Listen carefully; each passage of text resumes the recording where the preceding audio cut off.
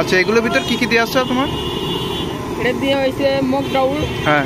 আটা আবার পেস্টি সল মরিচের গুঁড়া আর তারপর হলো কি করব ঢাকনাটা সরাও। আচ্ছা ঠিক আছে।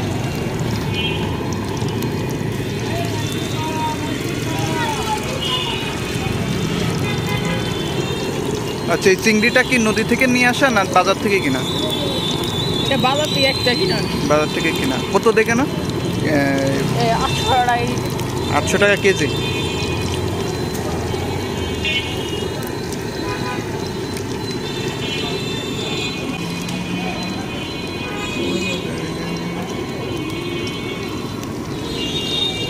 তুমি দোকানটা দাও কয়টা থেকে?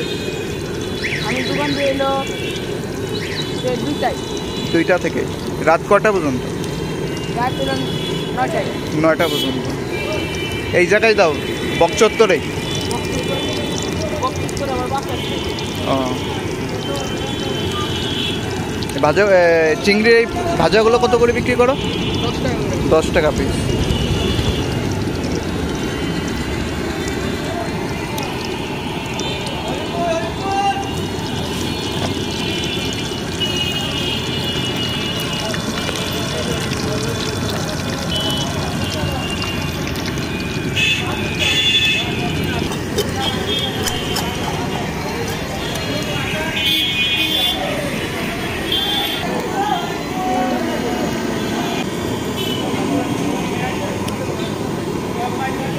চিংড়ি বড়গুলো কত করে বিক্রি করো?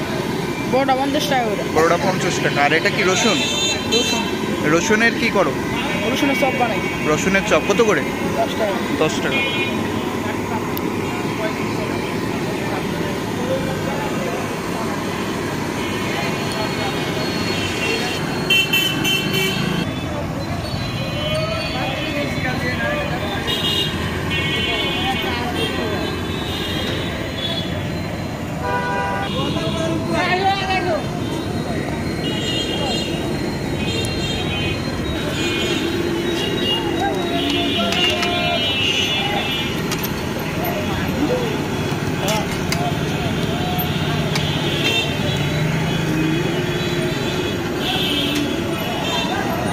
ভাজাটা হতে কত সময় লাগে?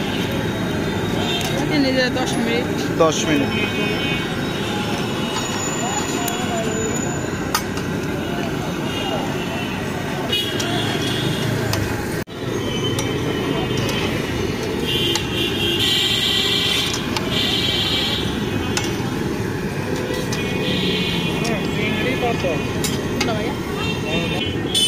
চিংড়ি।